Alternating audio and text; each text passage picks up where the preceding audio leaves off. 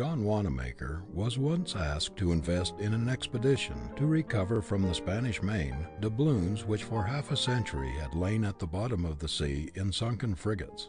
Young men, he replied, I know of a better expedition than this, right here. Near your own feet lie treasures untold. You can have them all by faithful study. Let us not be content to mine the most coal, to make the largest locomotives, to weave the largest quantities of carpets. But amid the sounds of the pick, the blows of the hammer, the rattle of the looms, and the roar of the machinery, take care that the immortal mechanism of God's own hand, the mind, is still full trained for the highest and noblest service. The uneducated man is always placed at a great disadvantage. No matter how much natural ability one may have, if he is ignorant, he is discounted. It is not enough to possess ability, it must be made available by mental discipline. We ought to be ashamed to remain in ignorance in a land where the blind, the deaf and dumb, and even cripples and invalids manage to obtain a good education. Many youths throw away little opportunities for self culture because they cannot see great ones. They let the years slip by without any special effort at self improvement until they are shocked in middle life or later by waking up to the fact that they are still ignorant of what they ought to know. Everywhere we go, we see men and women, especially from 25 to 40 years of age, who are cramped and seriously handicapped by the lack of early training. I often get letters from such people asking if it's possible for them to educate themselves so late in life. Of course it is. There are so many good correspondence schools today, and institutions like Chautauqua, so many evening schools, lectures, books, libraries, and periodicals that men and women who are determined to improve themselves have abundant opportunities to do so. While you lament the lack of early education and think it's too late to begin, you may be sure that there are other young men and women not very far from you who are making great strides in self improvement, though they may not have half as good an opportunity for it as you have. The first thing to do is to make a resolution, strong, vigorous, and determined, that you are going to be an educated man or woman, that you are not going to go through life humiliated by ignorance, that if you have been deprived of early advantages, you are going to make up for their loss. Resolve that you will no longer be handicapped and placed at a disadvantage for that which you can remedy. You will find the whole world will change to you when you change your attitude toward it. You'll be surprised to see how quickly you can very materially improve your mind after you've made a vigorous resolve to do so. Go about it with the same determination that you would to make money or to learn a trade. There is a divine hunger in every normal being for self expansion, a yearning for growth or enlargement. Beware of stifling this craving of nature for self unfoldment. Man was made for growth. It is the object, the explanation of his being.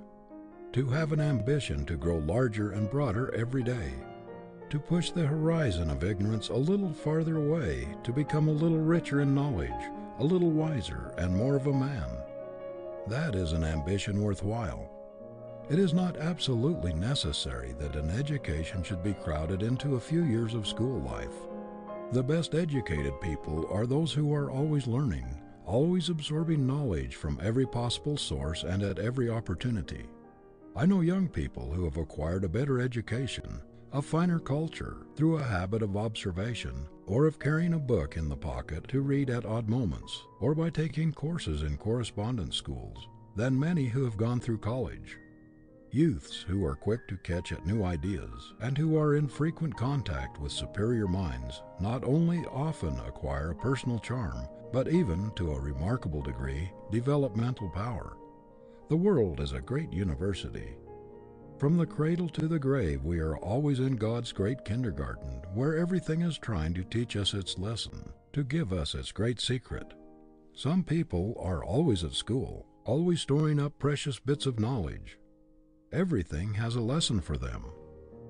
It all depends upon the eye that can see, the mind that can appropriate.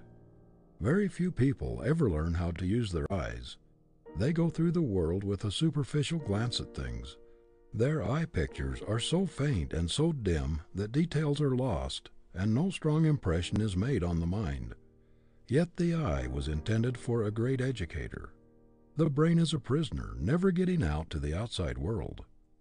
It depends upon its five or six servants, the senses, to bring it material, and the larger part of it comes through the eye.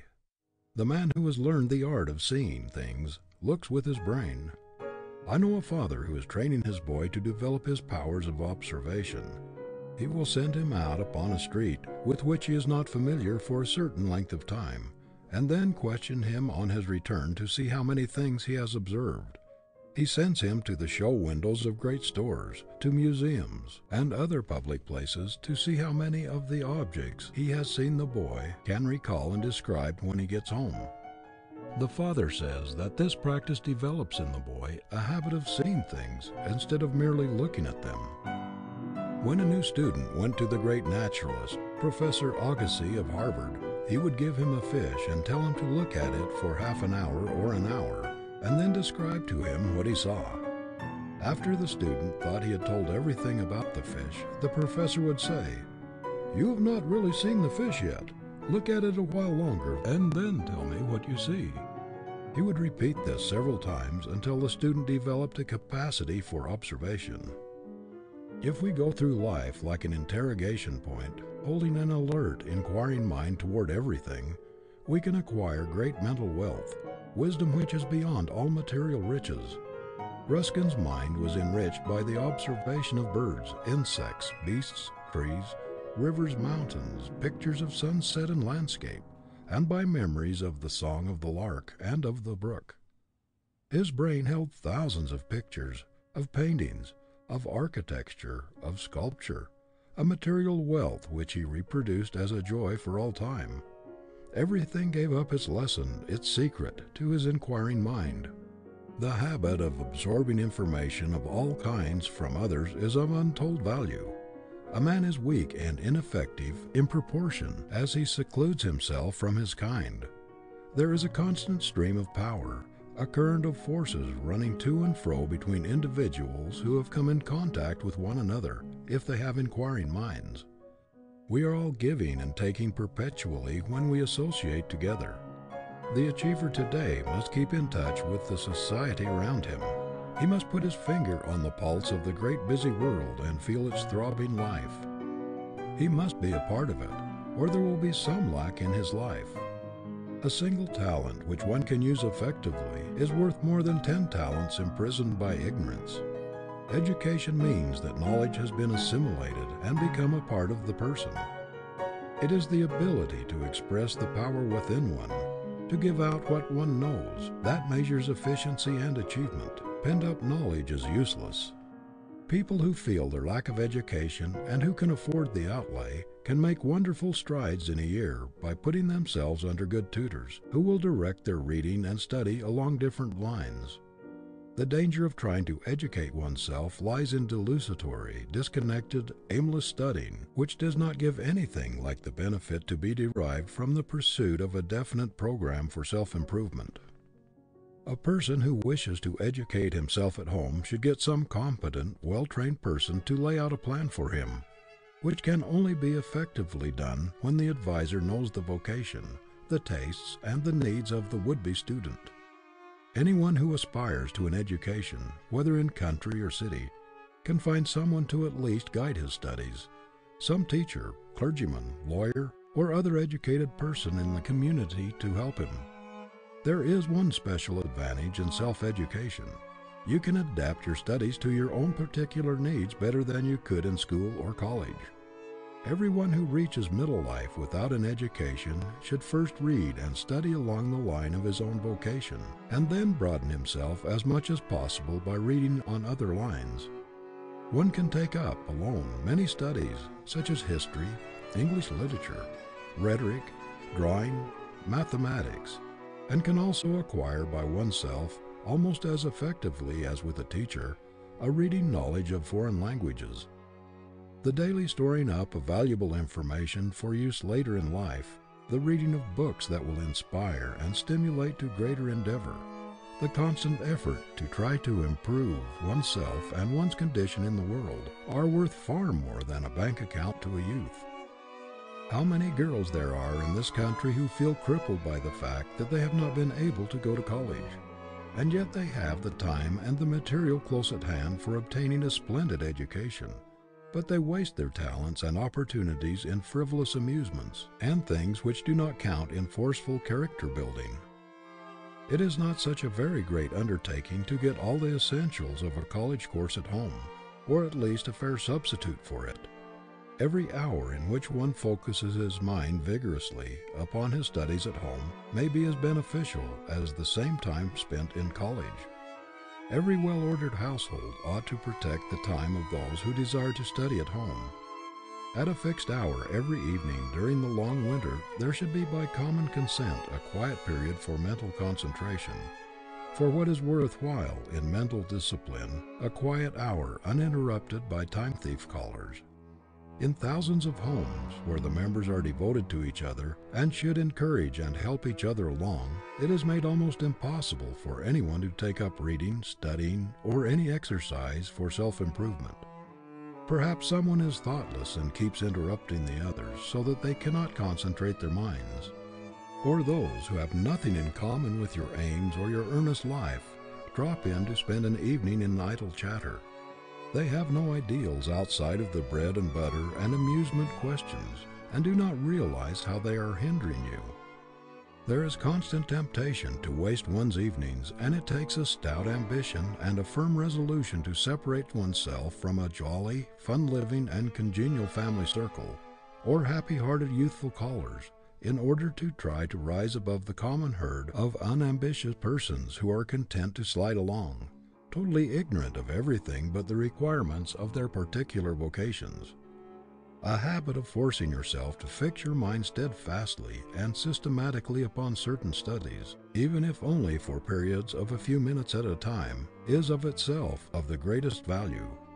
This habit helps one to utilize the odds and ends of time which are unavailable to most people because they have never been trained to concentrate the mind at regular intervals.